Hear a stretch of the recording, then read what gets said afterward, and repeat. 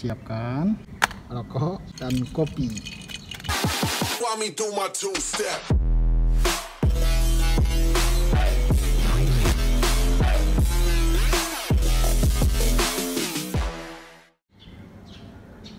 Jadi kali ini uh, Kiat Channel akan berbagi cara uh, untuk memperbaiki klakson yang tiba-tiba mati gitu. Jadi pas kita berkendara begitu mau klakson mati maka di sini Kiat Channel akan uh, sharing bagaimana cara memperbaikinya. Oke. Okay. Lagi macet mati posisi hidup begitu di ini klakson ya begitu di klakson jadi nggak ada suara klaksonnya tapi yang ada suara relaynya. Tuh.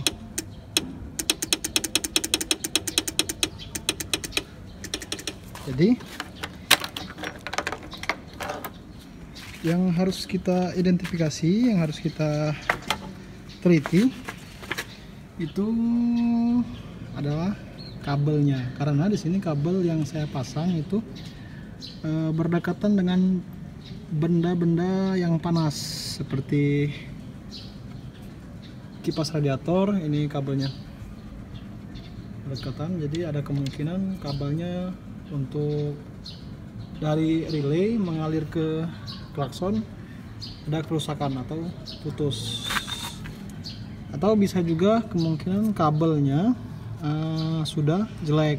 Jadi ada kayak putih-putihnya gitu mengakibatkan arus listrik pada kabelnya nggak bisa mengalir secara normal. Oke langsung saja kita cek kabel mengabel dari relay dari relay menuju ke klaksonnya. Oke teman-teman supaya pencarian masalah pada kabel yang terletak pada relay menuju ke klakson itu berjalan dengan lancar kita perlu mempersiapkan rokok dan kopi. Supaya proses identifikasi kabel klakson berjalan dengan lancar. Oke. Okay. kabel untuk untuk persiapan jika memang kabelnya sudah mengalami kerusakan. Yang kedua ada selotip listrik untuk kabelnya. Kalau kalaupun diperlukan kita juga mempersiapkan solatif bakar korek dan gunting. Dan yang tentunya kita mempersiapkan kunci-kunci. Oke langsung saja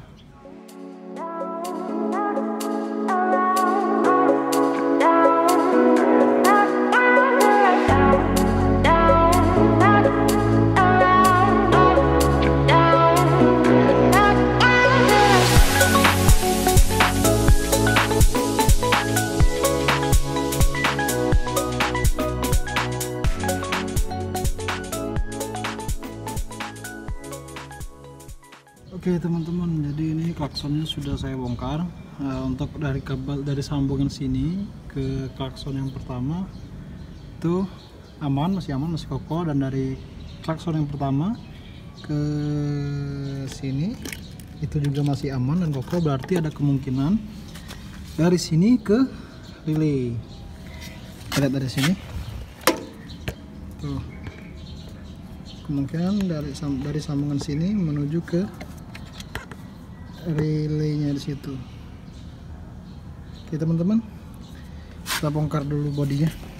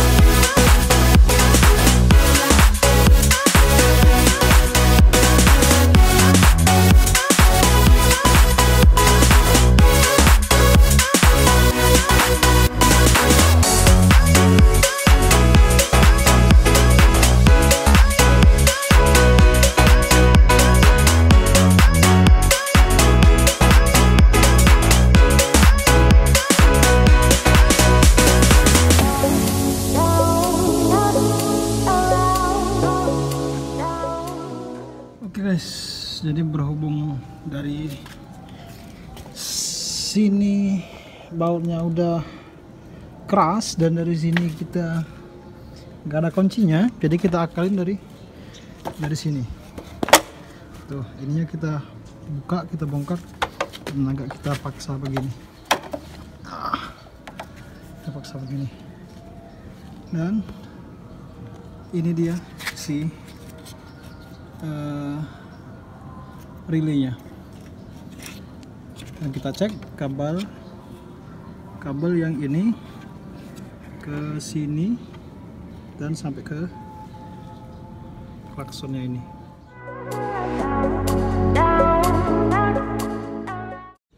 Oke okay guys, dan apa yang terjadi? Ternyata uh, pada sambungan di sini dari kabel dari relay ke sini dan ini nyambung ke kabel yang menuju ke klakson. Ternyata kerusakan ada di sini. Dan ini yang harus kita sambung dan kita perbaiki. Oke. Kita lanjut lagi.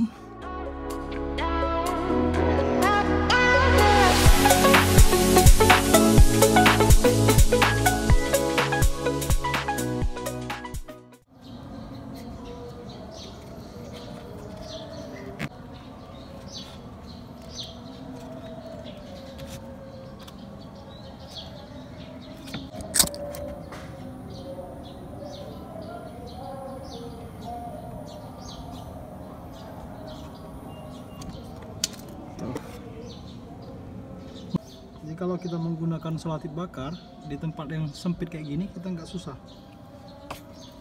Oh, kayak gini.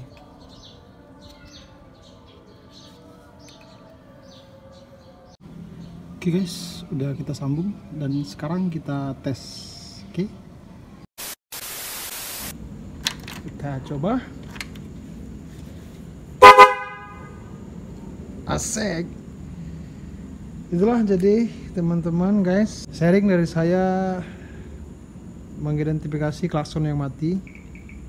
Uh, sebelum kita mengganti klaksonnya coba kita cek terlebih dahulu kabel mengabelnya.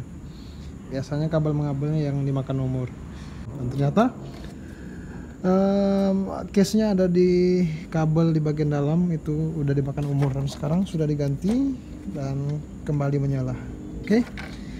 Cukup sekian dari Kiat Channel, semoga bermanfaat. Terima kasih.